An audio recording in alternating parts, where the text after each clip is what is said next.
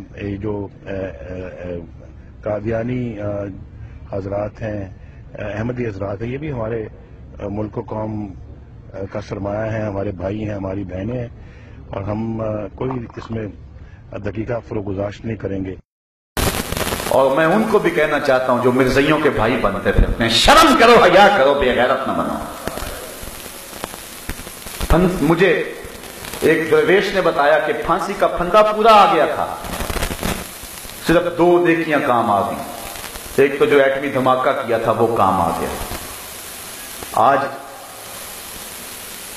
بھول گیا ہے اس کہانی کو۔ اس وقت پھندا بالکل پورا آ گیا تھا۔ یہ مدینے نے بچایا ہے یا مکے نے بچایا ہے؟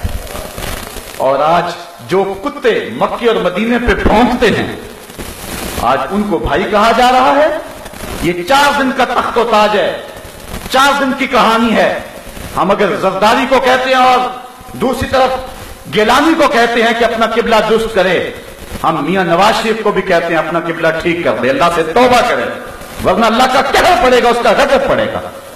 قوم نے تیرے سے توقع وابستہ کی ہیں، لیکن قوم توقع وابستہ کر سکتی ہے، لیکن حضور علیہ السلام کے نام سے قوم غداری نہیں کر سکتی۔ تم نے سمجھا کہ جو مرضی کہہ لے، قوم سوئی ہوئی ہے۔ ہمارے پاس اس وقت ملک میں بھی لیڈر کوئی نہیں، ہم سمجھتے ہیں۔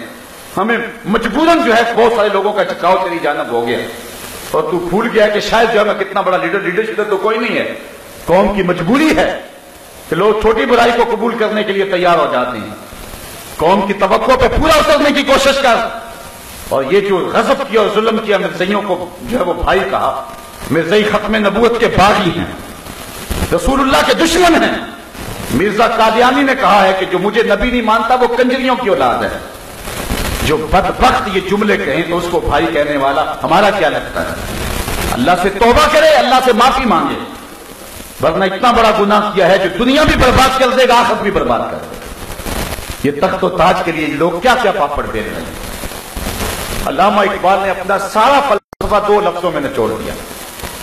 حد کر دی قلندر لاہوری نے اور درویش سیال کوٹی نے فیلسوفے مشرق نے نقاد مغرب نے اقبال نے اپنا سارا فلسفہ دو لفظوں میں نچوڑ دیا۔